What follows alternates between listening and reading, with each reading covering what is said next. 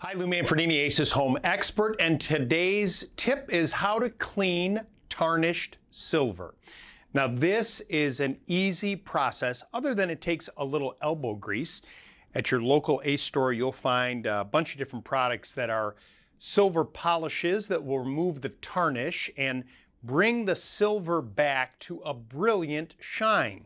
Today, we're going to be using this product right here.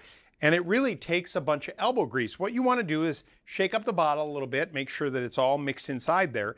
And then you're going to apply a liberal coating to the silver that needs to be polished. And then with a clean cotton rag, you're going to use a little elbow grease to get that silver to shine. And don't be surprised if your hands get a little dirty. Some of that tarnish will come off on your fingers. If you'd like, you could wear some rubber gloves or when you're done, just wash your hands. And the process is pretty easy. Let me show you how it's done. Okay, uh, I've shaken up the bottle and now I'm going to go ahead and apply the material there. Now you can kind of work this in with your finger. If you allow this to sit for a little bit, it's going to make the polishing so much easier on you.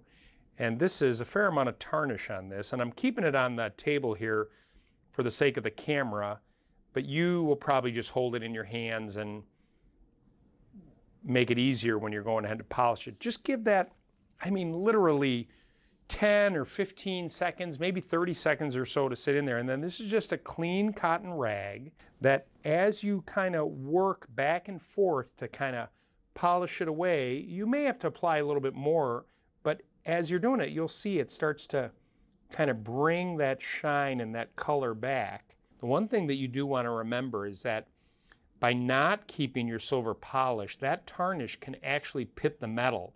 And then over time, you won't be able to bring it back to that original luster that you had because it'll actually change the makeup of the metal itself and it won't be as smooth. You'll see, look at the evidence how dark that is where you're pulling that tarnish onto that rag and just spin over on another side here to kind of clean all that up.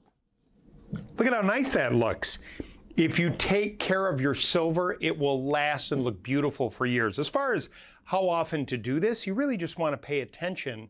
If it sits inside a china cabinet, it may not tarnish as quickly, but once you see that luster start to tarnish a little bit, get some silver polish, a little elbow grease, and you can bring it all back to life. Now, if you need more advice, just stop by your local Ace Hardware store. And remember, you can always visit us at acehardware.com and please subscribe to our YouTube channel. Ace is the helpful place.